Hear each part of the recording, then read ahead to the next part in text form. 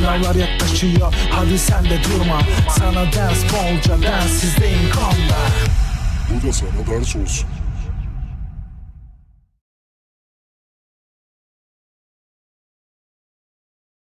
Merhaba arkadaşlar. Bugün sizinle beraber dünyanın hareketlerini işleyeceğiz.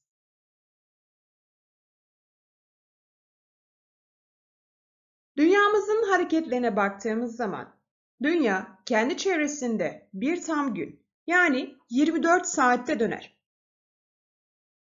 Bunu unutmayın. Aynı zamanda dünyamız batıdan doğuya doğru kendi etrafında dönme hareketi yapar. Bunu güneşin doğuş tarafına, doğuş tarafıyla karıştırmayın. Güneş e, doğudan doğru doğar, evet. Ama dünyamız batıdan doğuya doğru döner ve 24 saatte bunu tamamlar.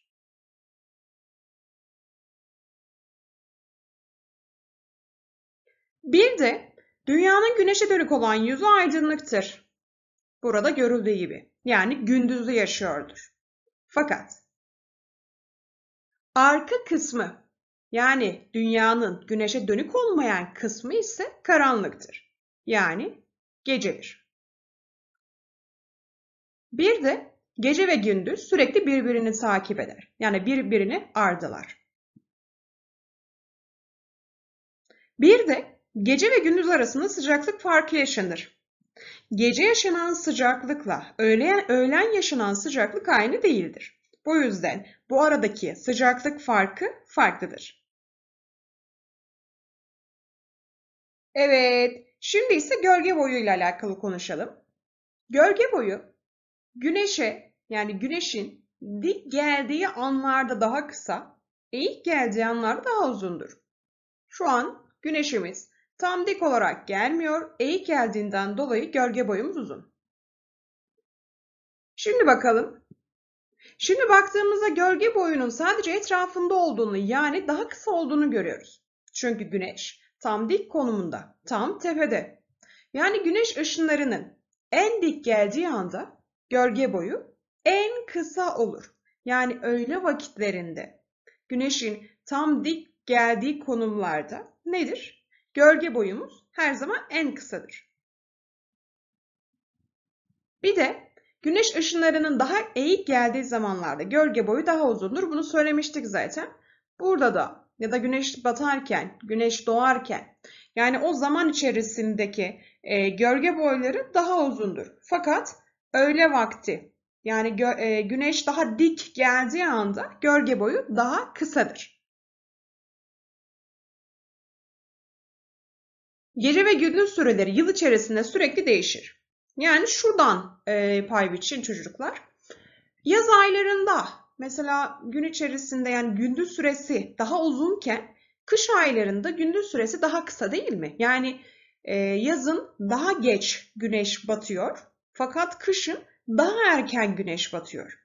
O yüzden gece ve gündüz süreleri yıl içerisinde sürekli bir değişim içerisindedir. Bunu unutmayın. Türkiye için yazın geceler kısa, gündüzler uzundur. Bunu söylemiştik zaten. Yaz aylarında gündüzün daha uzun olduğu yani güneşin daha fazla tepede durduğunu, e, gecelerin daha kısa olduğunu fakat kış aylarında tam tersi. E, gündüzün daha kısa olduğunu fakat gecenin daha uzun olduğunu biliyoruz. Bu Türkiye için geçerli. Türkiye için yine kışın geceler uzun, gündüzler kısadır. Bunu söyledik zaten. Bir de bizim özel tarihlerimiz var. Bütün dünya için geçerli olan özel tarihler var. Bu tarihlerden 21 Mart ve 23 Eylül yaşandığı zaman bunlar ekinoks süresi olarak ya ekinoks olarak da geçiyor. Yani gece ve gündüzün birbirine eşit oldu. Gün 24 saati değil mi? Bu 24 saatin 12 saati gündüz, 12 saati gece olduğu yani eşit yaşandığı, bütün dünyada eşit yaşandığı iki tane gün var. Birisi 21 Mart, birisi de 23 Eylül. Bir de Türkiye kuzey yarım kürede yani dünyanın üst tarafında olduğundan dolayı 21 Haziran'da en uzun gündüz yaşanır. Bu tarihi de unutmayalım. Son tarihimiz artık. Türkiye'de 21 Aralık'ta en uzun gece yaşanır. Bakın şuradan da hatırlayabilirsiniz. 21 Haziran Türkiye'de yazla alakalı bir tarih değil mi? Haziran deyince aklımıza yaz geliyor. 21 Haziran'ı gördüğünüz zaman da e, yaz ayı olduğundan dolayı evet yaz ayı en uzun gündüz mantığında düşünebilirsiniz. Ya da 21 Aralık, Aralık için düşünelim. Aralık tarihinde Türkiye'de ne vardır? Kışla alakalı yani kıştır. Kış olduğu için de e, gündüz süreleri daha kısa olacaktır, gece süreleri daha uzun olacaktır. 21 Aralık'ı gördüğümüz zaman da aa evet gece süresi daha uzun Türkiye'de mantığı aklınıza gelebilir. Güneşin doğudan doğru doğduğunu söylemiştik. Fakat dünya batıdan doğuya doğru döner unutmayın.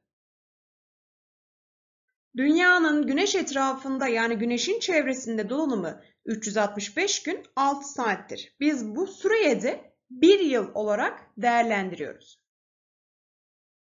Bir de dünya güneş etrafında belirli bir yörüngede dolanır. Biz bu yörüngeye görüyorsunuz değil mi? Biz bu yörüngeye elips diyoruz. Dünya güneşin etrafında dolanırken tam bir yuvarlak çizerek dolanmaz. Biraz daha değişik yani biraz daha geniş olarak elips şeklini alarak dolanır. Bir de hesaplama yaparken bunları kesinlikle bilmeniz gerekiyor. 1 yıl 12 aydır. 12 ay yani 1 yıl gene 52 haftadır. Gün olarak 365 gündür ve 6 saattir. Şurada eşittir olmayacak. Şurada eşittir olmayacak.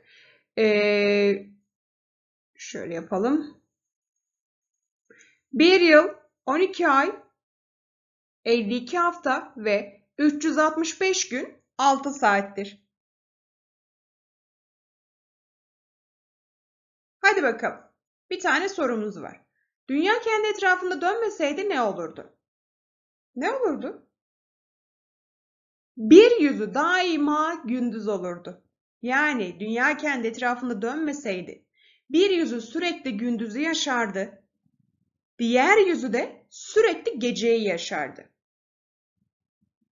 Başka bir soru. Dünya güneş çevresinde dolanmasaydı ne olurdu? Tabii ki de mevsimler oluşmazdı.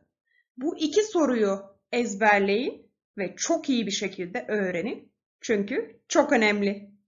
Evet, bu dersimize bu kadar. Diğer dersimizde görüşmek üzere. Kendinize çok iyi bakın.